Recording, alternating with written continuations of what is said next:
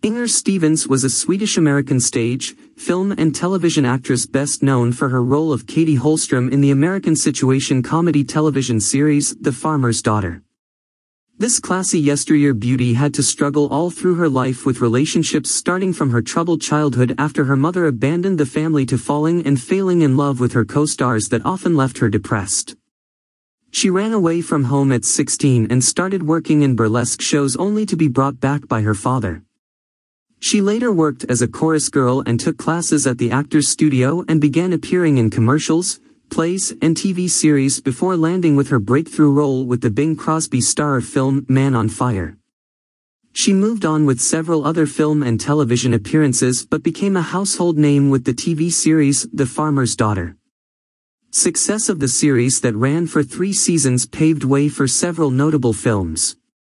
These include some of her brilliant performances in films like A Guide for the Married Man, Madigan, Five Card Stud, and A Dream of Kings among others. Untimely death of this somewhat mystery lady was attributed to acute barbiturate poisoning.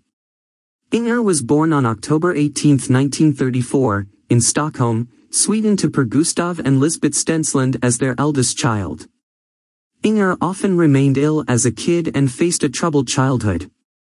When she was nine, her mother left the family for another man and her father relocated to the U.S. leaving behind the two daughters in the care of the family maid. The two girls were thereafter kept in the custody of an aunt in Lidingö before Inger's father, who started teaching at Columbia University and remarried by that time, relocated the two girls to New York City in 1944. When she was 13, Inger shifted to Manhattan, Kansas, with her father and started attending Manhattan High School. When she was 16, she ran away from home. She went to Kansas City, Missouri, where she began working in burlesque show, but her father located her and brought her back home.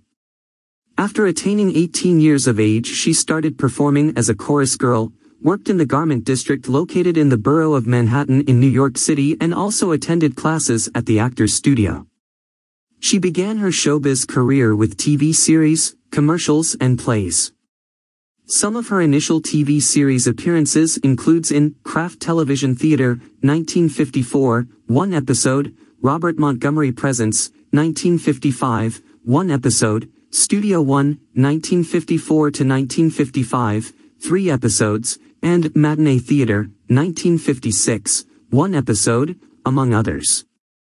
Her breakthrough came in 1957 with her debut film Man on Fire, where she essayed the starring role of Nina Wiley opposite famous yesteryear American singer and actor Bing Crosby. Although the film failed to make a mark at the box office, it fetched her attention as an actress. She played the starring role of Joan Molnar in the thriller film Cry Terror, that also had James Mason and Rod Steiger in lead roles. The film released on May 2, 1958, and went on to become a commercial success. That year she also featured in the pirate film The Buccaneer that, however, fared poorly at the box office. This stunning and elegant beauty garnered a nomination at the 1958 Laurel Awards in the category of Top New Female Personality. While continuing with her big screen endeavors, she made several TV appearances in series like Alfred Hitchcock Presents, 1957, one episode, Playhouse 90, 1956 to 1959, two episodes, Bonanza, 1959, one episode, The Twilight Zone, 1960, two episodes, Route 66, 1960 to 1961, two episodes, and The Alfred Hitchcock Hour, 1963, one episode, among many others. Her performance in a single episode of the NBC anthology series, The Dick Powell Show, in 1962 earned her a nomination for Outstanding Single Performance by an Actress in a Leading Role at the Emmy Award held that year. She went on to feature in another episode of the series in 1963. Her performances in Broadway productions during this time included plays Debut, 1956, Roman Candle, 1960, and Mary, Mary, 1962. The most memorable portrayal of Inger was that of Katrin, Katie Holstrum, a young Swedish housekeeper in the American situation comedy television series The Farmer's Daughter. The series aired on ABC for three seasons encompassing 101 episodes starting from September 20, 1963 to April 22, 1966. It became a huge success garnering Inger most deserved fame and recognition and made her a household name.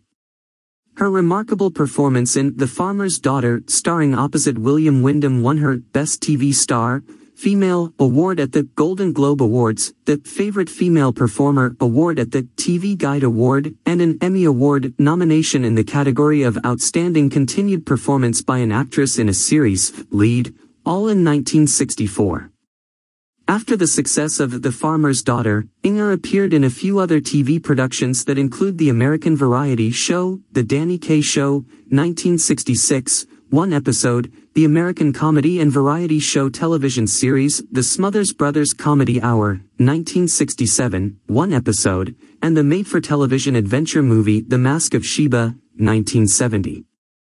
The then governor of California Edmund G. Pat Brown inducted her to the advisory board of the UCLA Neuropsychiatric Institute in January 1966.